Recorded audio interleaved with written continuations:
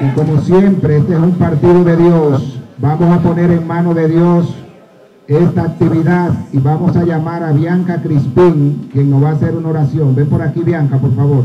Vamos a darle la gloria y la honra a nuestro Padre que está en los cielos, que es lo más importante para nosotros en el día de hoy y siempre.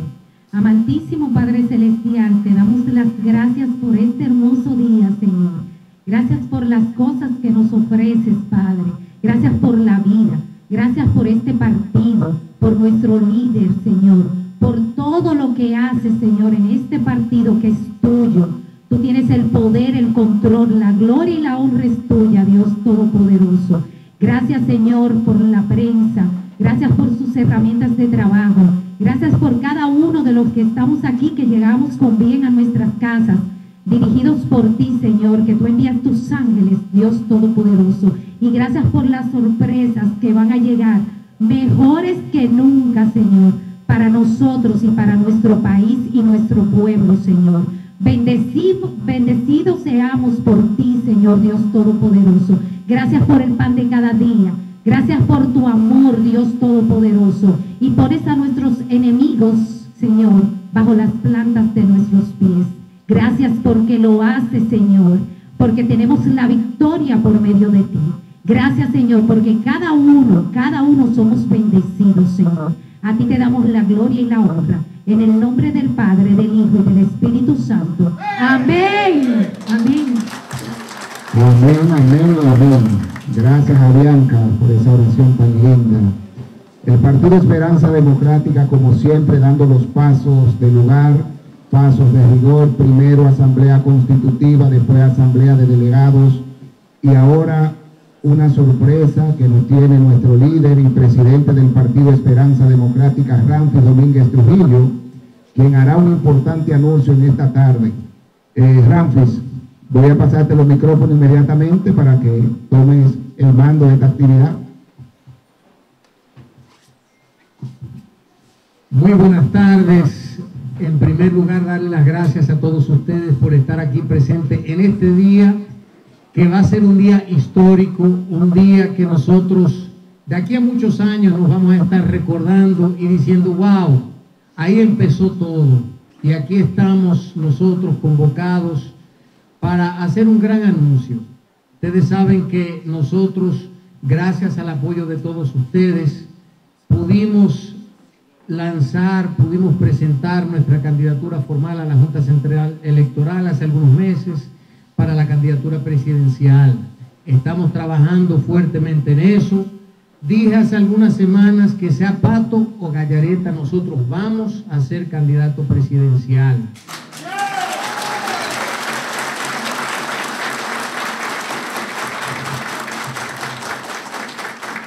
En el 2020 obviamente nos valimos de las condiciones que a nosotros nos asisten como ciudadano dominicano que fue parte de una familia desterrada y que nació dentro de ese destierro y apelamos a la sensatez de la justicia aquí en República Dominicana, que lamentablemente conforme las condiciones en ese momento no fue posible.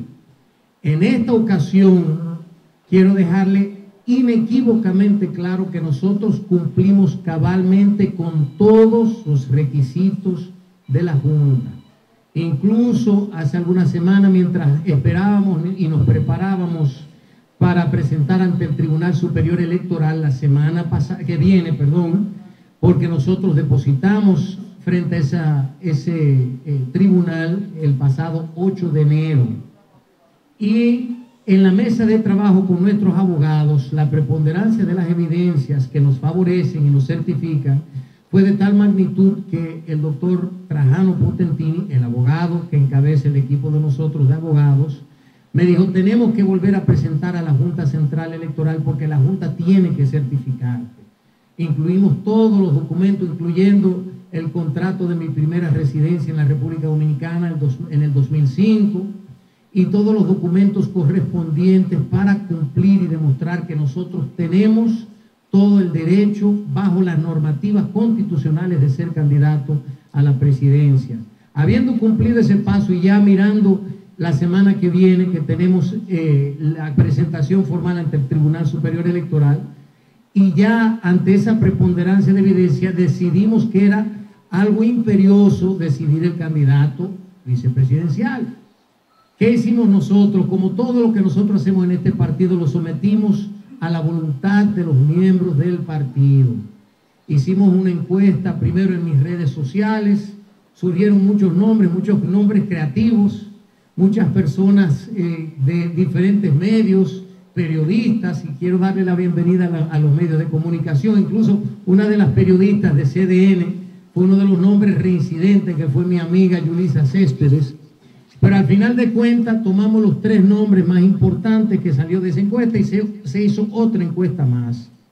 Y tengo que decir que me complace enormemente que la persona que yo tenía en mente, al final, digo al principio, fue al final la persona ganadora, porque entiendo que esa es la persona idónea, una persona que representa los valores del partido y obviamente ustedes comparten también ese criterio.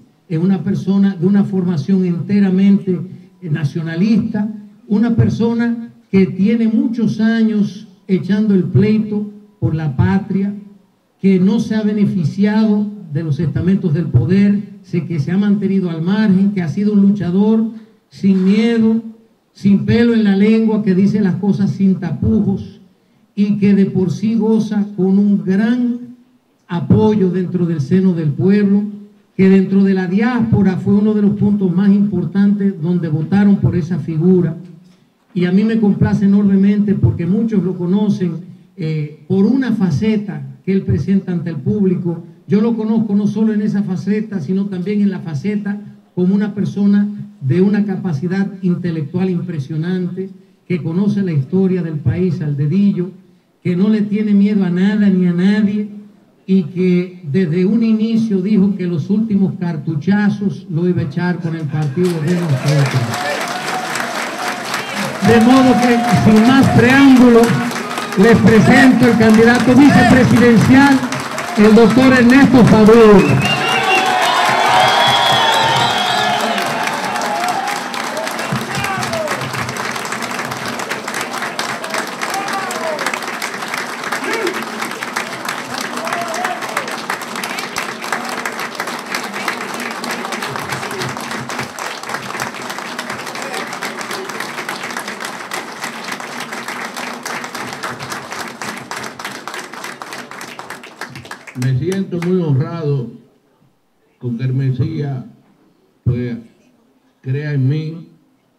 Y todos ustedes. Yo soy una persona que soy fiel al programa de gobierno que tiene nuestro Mesías porque el país lo necesita. Por eso estoy aquí. Soy una persona que pienso que es quien va a enderezar la finanza, que es una tarea difícil pero posible, va a incentivar el campo, va a poner seguridad, va a defender la nación dominicana y por eso yo estoy con él y voy a seguir los lineamientos que él me trace como persona leal.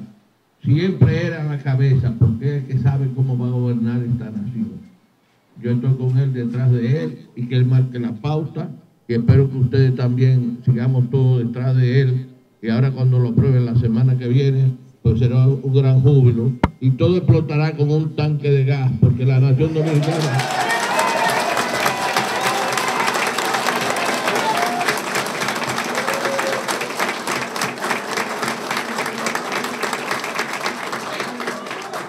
la nación dominicana lo necesita.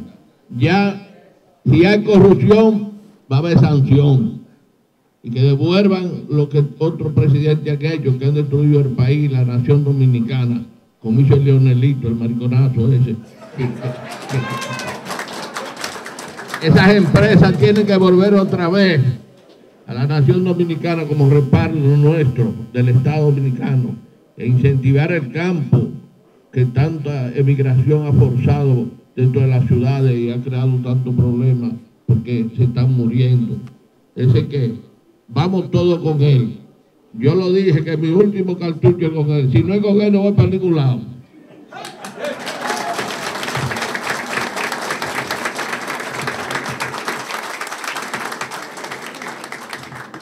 Ya ustedes saben, para adelante.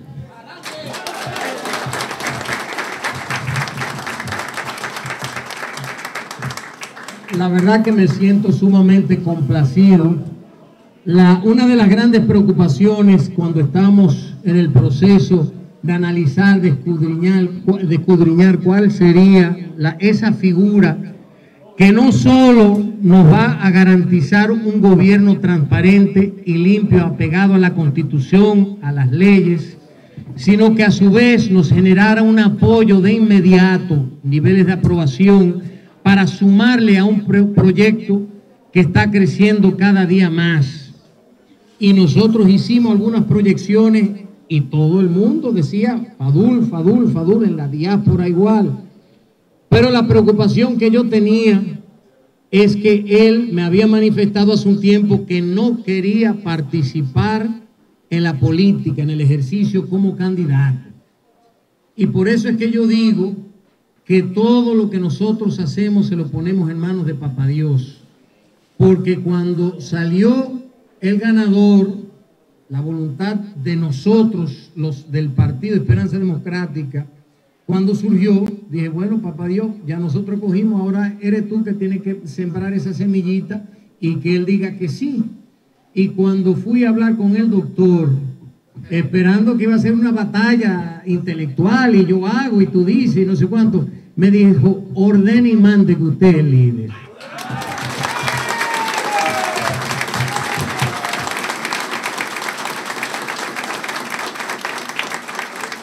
Esto yo creo que son noticias muy importantes para nosotros porque, repito, es una figura que de por sí despierta grandes pasiones, tiene una cantidad de, seguidores jóvenes, personas con grandes inquietudes, pero sobre todo personas como nosotros que deseamos lo mejor para el país. Cuando salimos a las calles es una persona que todo el mundo por la jocosidad, que lo identifica y lo ha marcado, se le acercan a él y cuando empiezan a hablar se dan cuenta de que no es una, solamente una persona que sabe hablar en forma jocosa y con chistes y de forma alegórica, sino que tiene muchas sustancias. Y yo quiero que en estos próximos meses conozcan esa cara del doctor Fadul, porque es el doctor Fadul que nos eh, va a dar ese espaldarazo a esa candidatura, es el elemento que le hacía falta al binomio presidencial.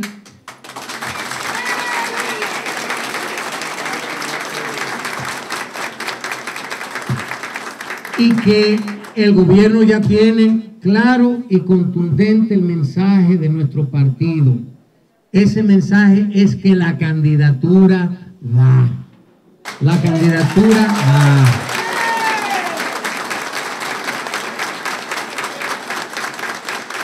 Y quiero dejar claro que el doctor Fadul es parte de esa garantía de que eso pase. Y eso va a ser así. Vamos a trabajar, estamos apoyando a nuestros candidatos y eso es sumamente importante porque el próximo 18 queremos que esos votos del número 32 se cuenten a lo largo y lo ancho de la República Dominicana.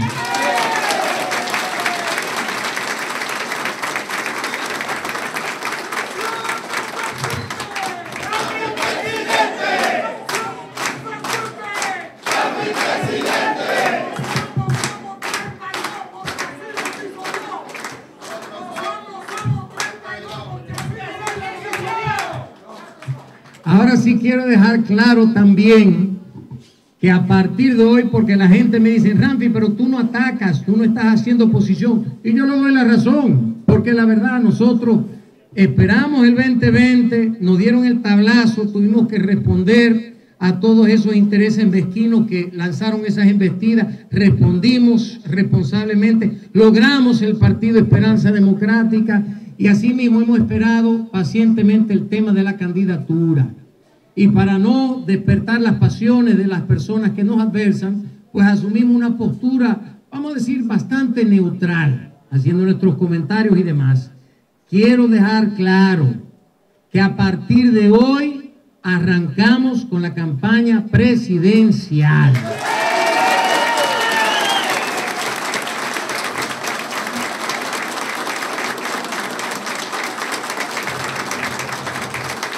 A partir de hoy, esa campaña áspera y esos enfrentamientos de fuerza y de fe que siempre nos han caracterizado se reinician. Porque tenemos mucha tela por donde cortar frente a los desmanes de un gobierno que le ha dado la espalda al pueblo. Ahora, ahora van a tener que aguantar los cajetazos de un partido y de un proyecto que viene a recuperar la patria. Ahora ese Ramfi de antes que estaba, ¿dónde está Ramfi? Ramfi ya está de pie, paradito y listo para echar este pleito.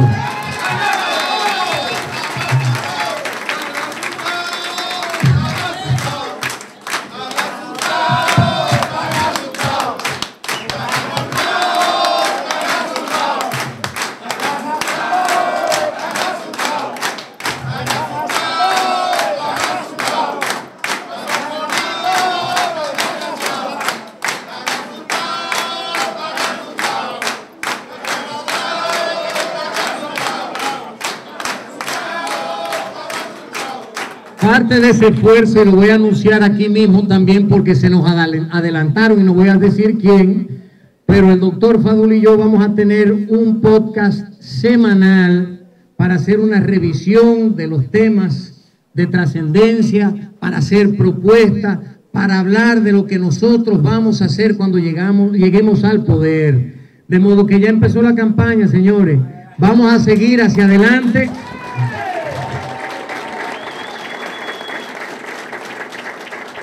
Con toda la fe del mundo, con fuerza y vamos a apoyar al número 32 el próximo 18 de febrero. Hay que dar un espaldarazo a nuestros candidatos. Hay que salir a pelear y aquí estamos, paraditos y más orgulloso que nunca del Partido Esperanza Democrática. Que Dios me lo bendiga a todos y gracias.